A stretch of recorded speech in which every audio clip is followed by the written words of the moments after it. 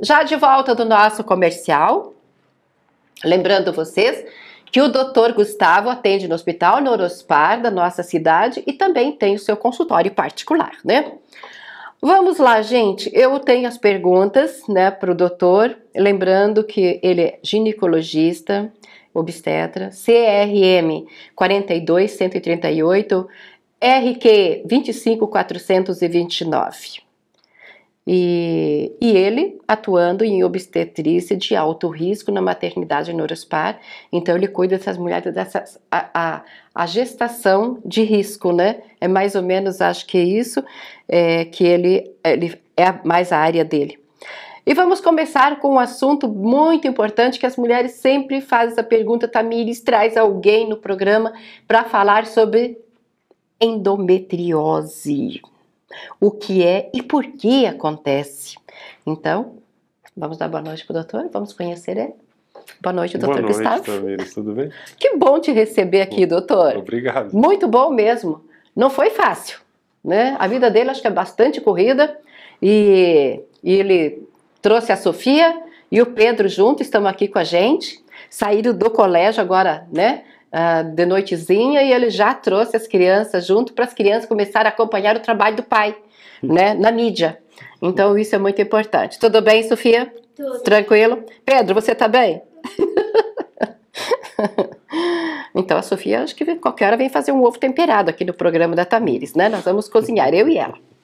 Isso é muito bom. Gente, é, está para vir mesmo no programa uma menina do Colégio Adventista ela participou né, do Masterchef, no qual eu fui jurada, né? É, da... Gente, eu nunca, eu nunca comi tanto na minha vida, mas que eu experimentei os 60 pratos, eu experimentei num dia. Mas é interessante a atuação da, das crianças, né? E dos pais também a respeito disso.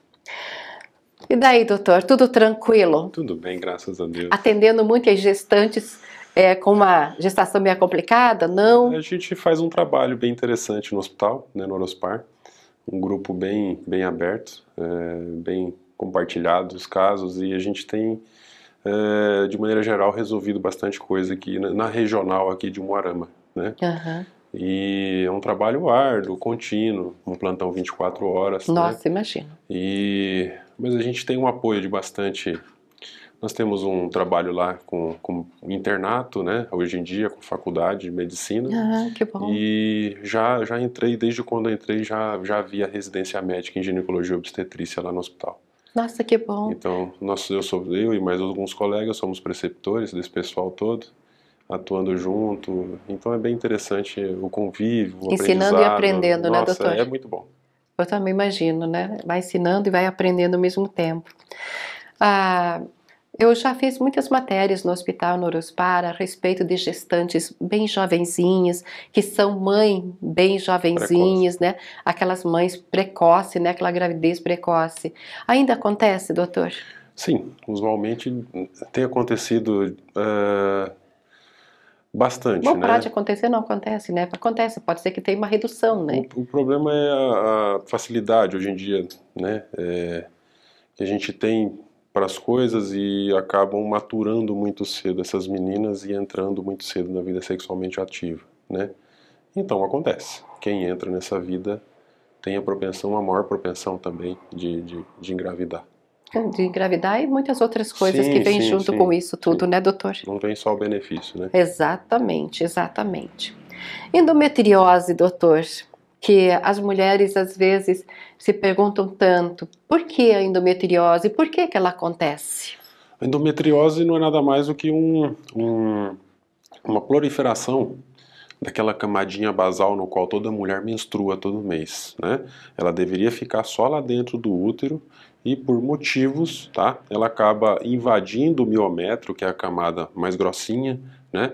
Fazendo essa invasão e ocorrendo aí a tumoração, um tumor benigno que fala, né? Uhum. Ocasionando males, sangramentos anormais, dores, desconfortos, né? Durante o período menstrual, principalmente. Isso acontece mais com as jovens ou mulheres de 35, 40 anos? São mulheres a partir Mais dos maduras? 35, 40 anos que acontece. É tá? verdade? Sim, sim, sim. Mais maduras. Sim, mais maduras. Diferente do quadro de, de endometriose. Agora, mesmo elas passando por gestação e tudo, isso não para. Isso, isso continua doendo, vamos falar assim. Sim, sim. A gestação, de maneira geral, dá uma inibida nesse quadro. Dá uma inibida porque eh, no, durante a gestação ela mulheres, não menstrua. Só que as mulheres também têm dificuldade de engravidar com um quadro desse. É mesmo? Sim, sim. Então tá, né, gente? Vamos lá. É, eu anotei umas perguntas aqui adenomiose, adenomiose, o que é e o, em que momento que ela se manifesta? Ela não tem um quadro quando se manifesta. A pessoa ela apresenta os sintomas, né? A gente faz um estudo. Quais são os sintomas? Sangramento durante o período menstrual abundante, cólicas intensas, tá? Hum. Porque quando esse sangramento extravasa para algum lugar fora do, do útero, né? Então acaba doendo a barriga de uma maneira mais mais forte, né? Mais intensa. Mais intensa. E lembrando que pode refluir também para as tubas, então acontece bastante sintomatologia relacionados a isso, né? O sangue é bem irritativo para a cavidade abdominal, né? E só que ele tem essa duração do período menstrual. Claro, algumas acometem um pouco mais durante o período, né? Porque a decidualização do endométrio que a gente fala, ela não consegue ocorrer totalmente dentro do miométrio. Então ele continua sangrando e a gente acaba tendo que usar algum tipo de medicação para parar esse tipo de sangramento. Né? Então, é um sangramento que é um sangue que fica ali, fica meio parado, como é na, que é? Na verdade, é a produção, é, como o endométrio invadiu o miométrio, né, que é a camada mais grossinha, e a gente não consegue fazer uma formação nova ali, né? A gente tem a atuação de dois hormônios do eixo central estimulando isso, né? E esses dois hormônios não conseguem atuar efetivamente ali naquele local, ocasionando tudo isso daí. Aí, o princípio, a gente acaba usando algumas medicações para tentar inibir isso daí tudo de maneira geral, a paciente não, não mais menstruar mesmo. E o tratamento dela dependente da, é dependente da idade, né? Próximo, menopausa, a gente tenta fazer um tratamento medicamentoso, anterior à menopausa, o tratamento, a indicação é cirúrgica mesmo já que você está falando menopausa, a partir de que momento que eu começo, que eu tenho que me preocupar com reposição hormonal? A gente pensa em menopausa quando começa a sentir os sintomas. Quais são os sintomas? Alteração do fluxo, tá? Com apresentação de, de demorados períodos, apresentando intervalos entre três meses, seis, tá? Acompanhados sempre de sintomas, dores de cabeça, Alguns falam zumbidos no ouvido. Os fogachos. Os fogachos são os principais, são os tenebrosos para as mulheres, porque tem mulher que acorda de madrugada, já acorda irritada. Imagina. Né? E Eu não passei por isso, viu, gente? É, transtorno de humor acontece muito, irritabilidade, né? Alguns quadros as mulheres entram tendo um quadro depressivo. Por quê? Diminui até a lubrificação. Imagina. Então o ato atrapalha bastante o casal durante essa, essa fase. Né? Até ela descobrir e conseguir resolver, demora um período e algumas não descobrem durante esse período também, que não tem muita informação ou não procuram muita informação. Muitas mulheres ainda fogem, né? Ah, de, não de... aceitam? Na verdade, de maneira geral, mesmo a gente tendo a facilidade hoje em dia do SUS cobrir mamografia preventiva, alguns exames adicionais, muitas mulheres tentam evitar de realizar, né? Tem melhorado muito o índice, mas ainda existem esses tipos de qualquer pessoa. Tem homem também que não gosta, igual. Mas faz parte da nossa vida, gente. Ainda bem que tem todos esses recursos, né? E lembrando também a mulher que passa por menopausa, que já né, encerrou, tem os lubrificantes, né, doutor? Isso aí não vai prejudicar a sua vida amorosa de jeito nenhum. Tudo tem um jeito, né? A gente tenta contornar da melhor forma possível. Claro, né? verdade. E aí você me perguntou sobre reposição. Reposição não é uma coisa obrigatória. Tá? Não é obrigatório? Não, de maneira alguma. Tem que ser primeiro avaliado uma paciente, né? É, a paciente chega com os sintomas, ela já discute sobre isso, ela tem intenção, porque ela viu hoje em dia a facilidade de você pesquisar alguma coisa é muito grande. Então ela já chega com esse intuito de, de tentar a reposição hormonal antes de uma avaliação e uma conversa clínica interessante. Né? Uhum. Porque o tratamento de menopausa é melhora de qualidade de vida. Né? A gente não faz a reposição hormonal para melhorar é, lubrificação nem nada disso. A gente faz para melhora da qualidade de vida, mas a mulher tem que ter os pilares também. ela tem que pensar na alimentação, numa hidratação boa, numa atividade física e uma boa noite de sono. Senão, não adianta usar reposição nenhuma também. Doutor, e a, a menopausa induzida? O que, que o senhor acha? Induzida que a gente faz com alguns tipos de medicações, mas tem alguns motivos. A gente não induz por motivos óbvios, se a paciente queira, por exemplo. Para né? deixar ela mais confortável. Porque tem malefícios, tá? Referente a isso, tipo de medicação. Então a gente não induz normalmente. A não ser que tenha características para a gente fazer algum tipo de de melhora do quadro até ela entrar no período de menopausa, tudo, mas normalmente a gente não entra com esse tipo de tratamento. Mas quais os tipos de malefícios, doutor, que pode acarretar para a mulher?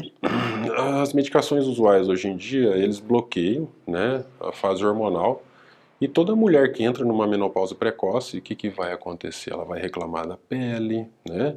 ela reclama da, da secreção, já não tem mais secreção, não vai ter mais vontade Secura. de ter, ela vai ter diminuição do libido tá? Ela vai ter tendências de substituição das mamas, lipodistrofia, aí acontece substituição, né? Então a mama vai cair, o cabelo cai um pouquinho mais, a absorção no qual ela tinha um pouco de facilidade, né, por conta do estrogênio, de cálcio, desenvolver doenças cardíacas também. Então assim, ela perde um fator de proteção muito interessante. Né? Então tem que tomar cuidado com, com a intenção de fazer o que ela quer, a gente tem que fazer o que é correto. Eu já vi essa situação é, assim de mulheres que têm mioma, né? E onde às vezes o médico prefere induzir, Sim. né, uma menopausa induzida, para que ela tenha um pouco mais de conforto. É, nesses casos do mioma, a gente pega, como é que a gente usa esse tipo de medicação? A gente pega um quadro de miomas, né, vários miomas ou um mioma muito grande, e usa esse tipo de medicação para fazer uma involução, diminuição do tamanho dele, uhum. para adequar um procedimento cirúrgico para não ser tão invasivo ou correr muitos riscos também. Tá? A gente faz o uso dele também, dessa medicação, mas não é usual. Vamos falar um pouquinho também de gestação, né? Tem mulheres que, né, primeiro filho, a primeira família que a gente fala, ela está grávida, às vezes bate um desânimo, um desânimo. Por que será? Às vezes está tão ansiosa, a partir do momento que ficou, ficou toda preocupada. Acho que ali uma mistura de medo com preocupação. Isso é normal, doutor? Acontece bastante. É, primeiro porque a gestação não é feita por uma pessoa só. Exatamente. Né? Primeiro ela tem que ter um apoio, o apoio do companheiro, o apoio da família, né? Se ela tiver esse apoio, fica mais fácil. Não quer dizer que não vai acontecer. O complicado é quando não tem o apoio, ah, principalmente do parceiro. Principalmente. Principalmente. A gente vê bastante relacionado a isso problemas sociais, né? Principalmente de mulheres mais novas que engravidam e não têm essa certeza de que vai ter um companheiro. Insegurança? É insegurança. Cândida vaginal, isso é uma, é uma das situações que acomete muitas mulheres. É, ela acontece por uma, por não uma higiene íntima bem feita? O que que acontece, doutor? A maior parte das mulheres elas pensam isso que você agora relatou. Uh, a cândida vaginal é um, é um é oportunista, a gente fala. Quando tem uma modificação de microbiota vaginal, ela vem e se instala e faz o quadro infeccioso dela. Né? O que, que seria essa microbiota? Toda mulher tem um fluxo vaginal, a gente fala que é um fisiológico, algumas mais, outras menos, né? Elas reclamam na época do calor que aumenta um pouquinho, ou por conta das roupas e tudo mais. Então a gente acaba vendo de maneira errada elas se tratando com banhos, né? Com usos de sabonete íntimo, é, lavagens dentro da vagina, tá? Diz que não deve, né, doutor? Nunca. Fazer aquela lavagem, nossa, Nem lavar mesmo porque após não sei relação. Eu, eu lembro de uma, de uma médica lá em Cascavel, entrevistando ela na rádio, eu lembro muito bem, faz muitos anos, que a mulher não tem que estar lavando tanto, nossa, e, e, e passa esponjinha e muito sabonete dentro na vagina porque é onde que traz infecções, é né? É onde traz, é onde traz. A vagina ela tem um As pH. As bactérias começam. Ela tem um pH, ela tem uma flora como se fosse a pele e quando a gente faz agressão ela fica suscetível a esse tipo de infecção. Claro, uh, ela corre mais corriqueira com, com uma cândida mesmo, né? Por quê? Aqui o arame ainda é um local quente, né? E tem essa facilidade de proliferação porque as mulheres hoje em dia usam roupas mais justas, né? Roupas sintéticas de uhum. maneira geral, então isso acaba mudando a microbiota. As lycras, né? Isso, né? E também a modificação do hábito de vida. Hoje em dia, todo mundo quer facilidade de se alimentar, e até a alimentação errada hoje em dia tem causado essa diminuição da imunidade em região. Verdade. Porque hoje roupa íntima de algodão, a maioria das mulheres não usam não mais. Não usam, não usam. Porque é, porque é feio, né? Não é, não é bonita. Então, então para agradar o companheiro, é, daí é muita renda, é muita lycra, né? Isso, é isso, chega a ser particular. E é. a gente vê muita recorrência. A gente vai, orienta, explica e ela volta a fazer tudo de novo. volta a fazer tudo de novo e acontece tudo de novo, ah, né? Aquela medicação não foi boa. Eu falei, não é que a medicação não foi boa. verdade, doutor, verdade. Vamos, a importância dos preventivos também, já que nós estamos falando sobre isso, né? Tem mulheres que não gostam muito de fazer preventivo, nem mamografia, né? Eu, a gente conversa sempre com muitas pessoas e elas não gostam. Por quê, doutor? Porque o preventivo é muito importante. Preventivo é um exame para rastreamento, igual a gente fala. Mamografia também é um exame de rastreamento. Feito tem que ser considerado o uso anual dele. Né? Claro, mulheres que já tenham realizado esses exames pelo menos duas vezes com eles negativos, a gente pode né, providenciar um pulo de dois, três anos tá, para essa paciente. Ah, mas não quero. Aí o médico e a paciente decidem quando deve ser feito. Mas usualmente a gente faz a cada um ano. Por quê? Uh, a lesão de colo do útero, ela é demorada para acontecer. Ela não é uma coisa que acontece do dia para a noite, não é coisa de propensão familiar, tá? Ela é por conta de relação sexual. É a mesma coisa o Papa Nicolau, né? É, Muitas é. mulheres não gostam de fazer. Preventivo é ele, o Papa Nicolau. Exatamente, tem que fazer, é indispensável para saber se você está bem. Se não estiver, tem tratamento, né, doutor? O tratamento hoje em dia, precocemente, é, é, Tudo é, é 100%. É, 100%. é o melhor que tem. Por isso que tem que fazer exames periódicos, né? Vai ao médico, é, no, principalmente uma vez por ano, né? Assim, se não tiver nada. Às vezes tem, está com algum problema, você tem que ir para o médico mais que uma ou duas vezes no ano. Mas se está bem, vai uma vez por ano, faz a bateria de exames, vê como que você está, para se tem alguma coisa, daí o doutor já passa o medicamento para você com certeza, né? Mamografia, autoexame das mamas também. Eu já conversei com mulheres de 50, 60 anos que nunca fizeram mamografia. Acontece. Não, hoje em dia é um pouco mais raro. Bastante campanha, outubro rosa, então tem acontecido bastante adesão quanto aos exames de mamografia. O autoexame é um pouco mais difícil, né? A gente não vê tanto estímulo e parece que elas não têm orientação adequada né, quanto a isso. Mas o autoexame é bem simples. A mulher, após o período menstrual, tá, o oitavo dia, quarto, oitavo dia, ela vai e faz o autoexame na, na frente do espelho. Como é realizado? Né, é, exemplificando com a pontas dos dedos e procurando algum tipo de nodulação, algum tipo de coisa diferente no qual ela não tinha sentido antes. E vai também debaixo do braço, na axila, que a gente fala uhum. pesquisar, sempre bilateral, né? Dos dois ladinhos a gente pesquisa, né? O bracinho atrás da cabeça e faz a pesquisa. Claro, tem dificuldade. Hoje em dia até as enfermeiras na unidade de saúde, elas têm esses esses métodos, sabem orientar direitinho como deve ser realizado. Tem internet hoje em dia, como é realizado o autoexame. Então, assim, não tem como não falar fazer. Pra... Não, é, é, é só é. pesquisar. O autoexame ginecológico também, né?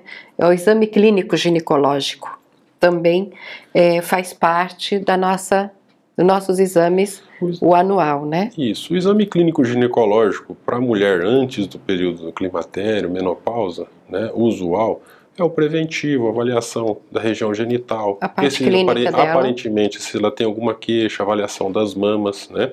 E do abdômen também, que é bem interessante. E claro, se ela tiver alguma queixa, a gente faz uma pesquisa mais profunda. Se não, ela vem para uma avaliação de rotina, a gente faz a avaliação habitual, né? E se achar alguma coisa, conclui com algum exame adicional, ou se não, fazer só os, os exames de rotina mesmo. Verdade. Para tudo tem um jeito, né? Temos, temos. E tem a gente solução. não sabe tudo, mas a gente pesquisa da melhor forma possível. Verdade.